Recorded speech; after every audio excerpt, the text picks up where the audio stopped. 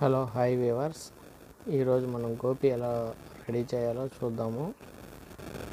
First కాలీఫ్లవర్కి పైన ఉన్న అలాంటి ఆకులన్నీ తీసేయాలి.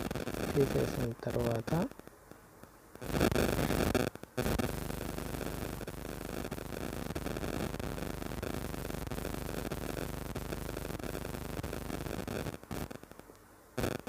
ఈ విధంగా చిన్న చిన్న ముక్కలుగా కట్ చేసుకోవాలి.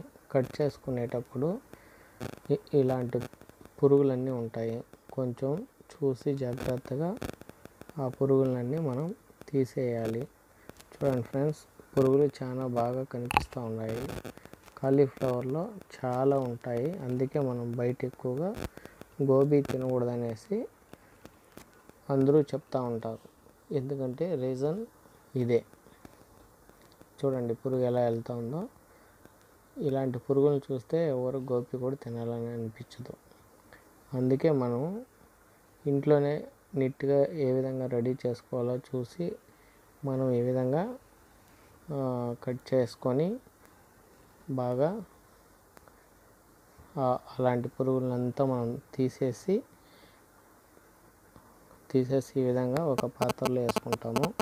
పాత్రలో వేసుకున్న తర్వాత కావలసిన పదార్థాలు ఈ విధంగా కోసు ఎర్రగడ్డలు పచ్చిమిరపకాయలు అంతా నీట్గా తరుక్కుంటాము. తరుక్కున్న తర్వాత వేడి నీళ్ళు పాత్రలో కాంచుకుని ఆ వేడి నీళ్ళు తెచ్చుకొని ఈ కట్ చేసిన పువ్వు ఏదైతే ఉందో ఆ పువ్వుని ఈ విధంగా వాటర్లో వేసి బాగా కలబెట్టే విధంగా చూడండి నీట్గా జల్లిగింట్లాగా ఉండదు కదా దాన్ని తెచ్చినాము. అది హాట్ వాటర్ బాగా నీట్గా వేడి చేసి ఆ పూలన్నీ మనం ఇప్పుడు దాంట్లో వేసి కట్ చేసుకున్నాం కదా ఈ కట్ చేసిన పీసులన్నీ మనం ఇప్పుడు ఒక ప్లేట్లో తనిగా పెట్టుకుంటాం. చూడండి.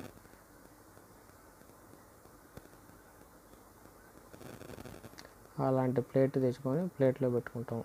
వాటర్ అంతా డ్రై అయిపోతుంది. తర్వాత ఈ ఈ ఇలా వేసుకున్న తర్వాత ఆ నీళ్ళల్లో ఆ నీళ్ళన్నీ కింద పడేస్తాం. గలీజ్ నీళ్ళు అంతా పడేసి పాత్ర నీట్గా కడుక్కొని వచ్చి ఆ పాత్రలో కార్న్ ఫ్లవర్ పౌడరు కొంచెంగా మైదా పిండేస్తాము. కలర్ వచ్చేకి కేసరి పౌడరు కొంచెంగా తీసుకుంటాము. చూడండి కేసరి పౌడరు కొంచెంగా కలుపుతాం. అందరూ అంటారండి తగినంత ఉప్పు తగినంత కారం అట్లా చెప్తూ ఉంటారు. అలా మనం చేయడానికి కుదరదండి. మనకి ఎంత కావాలనో స్పైసీగా కావాలంటే కొంచెం కారం ఎక్కువ మిరప్పొడి కూడా కొంచెం వేసుకోవచ్చు. వేసుకొని ఈ విధంగా సాల్ట్ మిరప్పొడి కేసరి పౌడరు ఎక్కువగా కార్న్ ఫ్లవర్ వేయాలి. కొంచెంగా మైదా వేయాలి అంతే. మైదా వేయకపోయినా కూడా బాగుంటుంది. లైట్గా వేయాలి వేసిన తర్వాత బాగా మిక్స్ చేసి ఈ విధంగా గట్టిగా కలుపుకోవాలండి. నీళ్ళు నీళ్ళుగా కలిపితే గోబీ కరెక్ట్గా రాదు. కరెక్ట్గా వాటర్ కొంచెంగా పోసి నీట్గా గట్టిగా వేసి కాలీఫ్లవరు కాలీఫ్లవర్ పూలను తీసి ఇప్పుడు దాంట్లో వేస్తామండి. అట్లా చూడండి నీట్గా కలిపినాము. దాంట్లో దానికి దానికి వేసిండేది సాల్ట్ ఒకటి మైదా కార్న్ఫ్లవరు కొంచెంగా కారం వేసి కలుపుకున్నాం. ఇప్పుడు ఈ పక్కన పెట్టుకున్న పువ్వును తీసి దాంట్లో వేస్తామండి. చూడండి కారం తగినంత వేసుకోవచ్చు మన ఇష్టం మేమైతే స్పైసీగా తింటామండి అందుకే కొంచెం కారం ఎక్కువగానే వేస్తాం.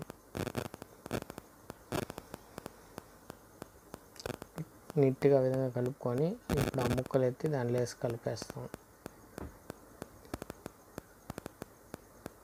ఎక్కువగా వాటర్ పోయకండి. దా ముక్కలకి మనం కలుపుండే పిండి కరెక్ట్గా అతుక్కునేవాలి. కింద మళ్ళీ కారకూడదు అనమాట చూడండి ముక్కలు వేసినాము ముక్కలు వేసిన తర్వాత దాన్ని బాగా మిక్స్ చేస్తాం. కలబెడతా ఉన్నాం. చూడండి కలబెట్టిన తర్వాత కింద ఎలాంటి పౌడర్ ఉండదు మొత్తం ముక్కలకే అయిపోతుంది. ముక్కలు అట్లా ఎత్తినప్పుడు విడివిడిగా వచ్చేస్తుంది నీట్గా. ఆ విధంగా కరెక్ట్గా పెట్టుకుంటాం. అట్లా చూస్తూ ఉండండి. నీట్గా కలుపుకున్నాం. ఇమ్మీడియట్లో వేస్తే కూడా బాగా వస్తుంది. ఒక పది నిమిషాలు ఫ్రిడ్జ్లో కూడా పెట్టచ్చండి. ఈ విధంగా మిక్స్ చేసిన తర్వాత టెన్ మినిట్స్ ఫ్రిడ్జ్లో కూడా పెట్టచ్చు. బాగుంటుంది. మేమైతే ఇమ్మీడియట్లీ వేసినామండి. చూడండి నీట్గా వచ్చింది.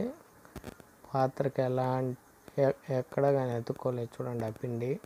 మొత్తం ముక్కలకి అంటుకునేది లిక్విడ్ ఎక్కడ కాదు. దీనికి కావాల్సినవన్నీ చూడండి. గోపి అంగిట్లో ఈ విధంగా నాలుగు రకాలు వేస్తారండి. ఒకటి tomato sauce soya sauce chilli vinegar. ఈ నాలుగు వేస్తారండి. దీంతో పాటు ఫ్రై చేసేటప్పుడు పెప్పర్ సాల్ట్ ఒకటి వేస్తామండి.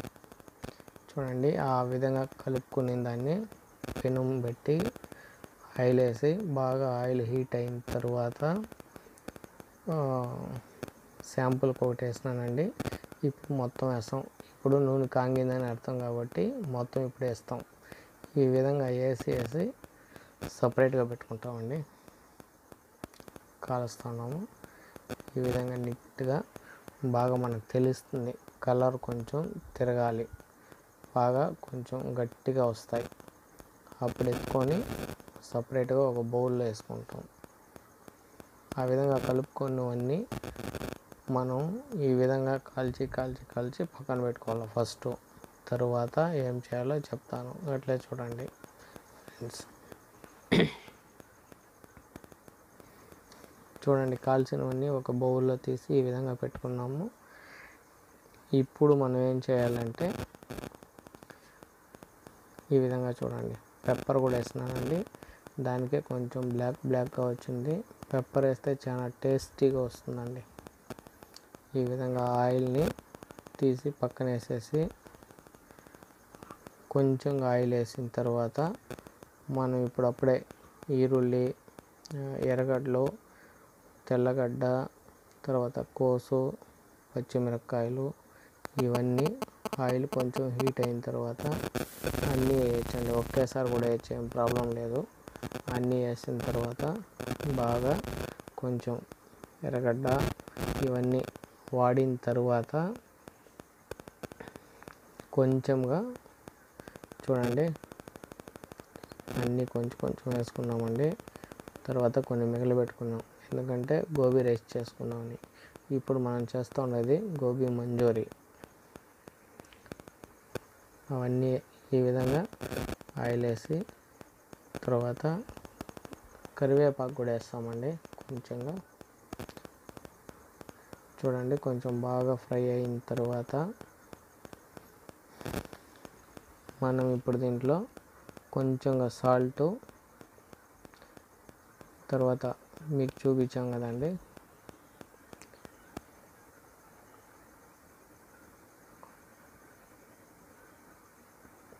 కరివేపాకు వేసాను చూడండి కొంచెంగా ఈ విధంగా చేయడానికి ఎక్కువ కూడా ఖర్చు కాదండి. ఆ సాసులు నాలుగు చూపించినాం కదా అవి మాత్రమే మనం పర్చేజ్ చేసింది కాలీఫ్లవర్ ఒకటి. ఇంకా మిగతావన్నీ మన ఇంట్లోనే ఉండేదాన్ని చేసుకోవచ్చు ఆరాముగా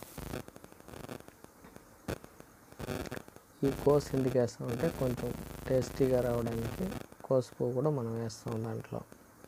ఈ విధంగా వేసిన తర్వాత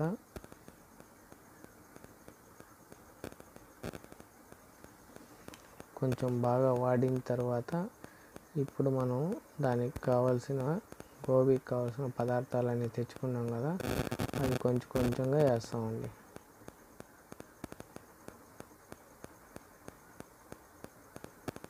చూడండి ఇప్పుడు టమాటో సాస్ వేస్తున్నాను. టమాటో సాస్ కొంచెంగా వేయాలి.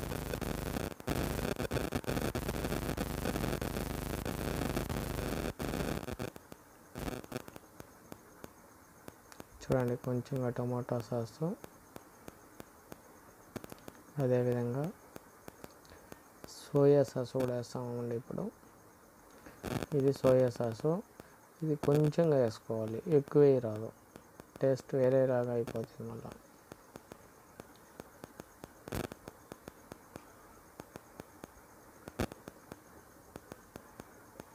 ఇప్పుడు పచ్చిమిరపకాయలతో చేసిన పేస్ట్ అండి ఇది. దాన్ని కొంచెం కారం ఎక్కువ కావాలంటే మనం కారంగా కొంచెం కూడా వేసుకోవచ్చు. బాగా స్పైసీగా ఉంటేనే టేస్ట్గా ఉంటుంది. అది అయిన తర్వాత ఇంకొకటి వేయాలండి వెనిగర్ అనేసి. అది వాటర్ లాగా ఉంటుంది. అది కూడా కొంచెం వేసుకుంటే చాలు.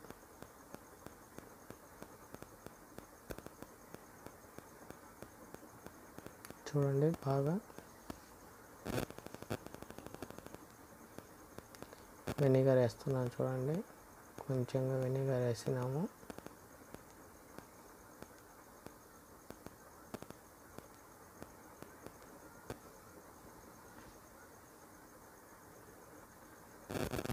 చూడండి స్పైసీగా కావాలన్నారు కాబట్టి ఇందులో మళ్ళీ కొంచెం పచ్చిమిరపకాయలతో చేసిన పేస్ట్ వేసామండి. దీన్ని బాగా మిక్స్ చేసిన తర్వాత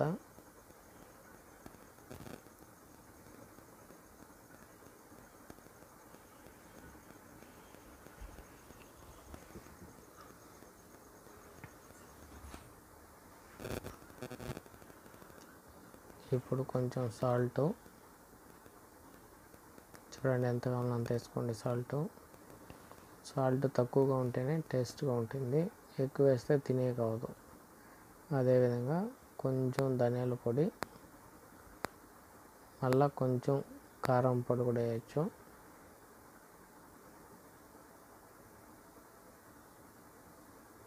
ధనియాల పొడి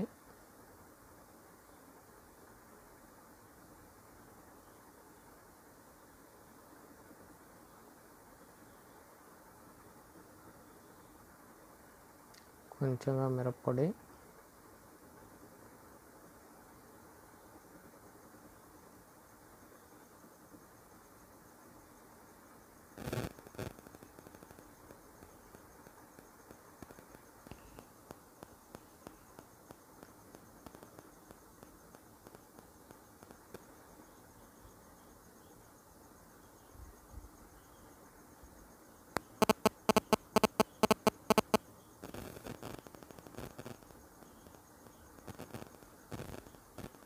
చూడండి టేస్టింగ్ సాల్ట్ అంటారు ఇది.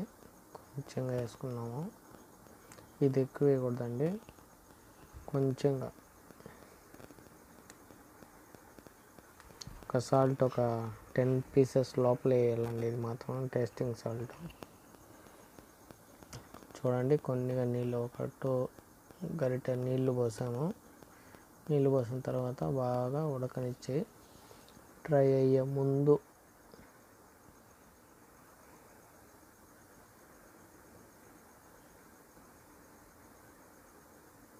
ఎక్కువ పోయకూడదండి కొంచెంగా పోసుకోవాలి.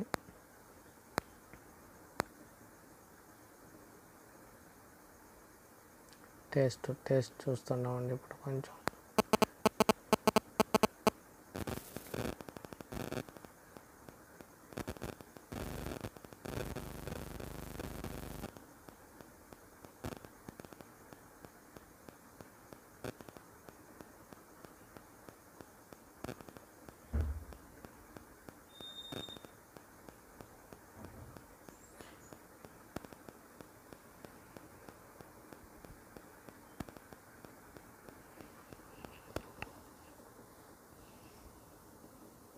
కారం తక్కువగా ఉంది కాబట్టి మళ్ళీ కొంచెం చిల్లీ పేస్ట్ వేసామండి.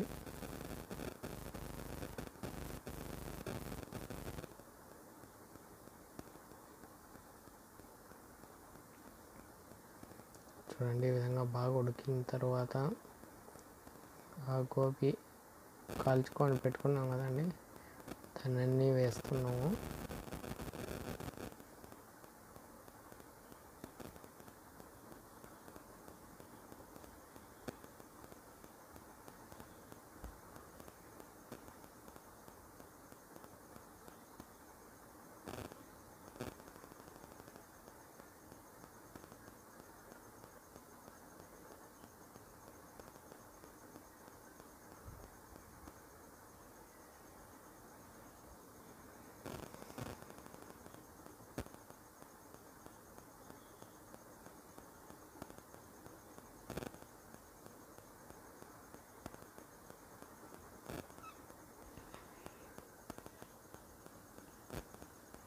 చూడండి వాటర్ అంతా ఈ విధంగా ఫుల్ డ్రై అయిపోవాలి.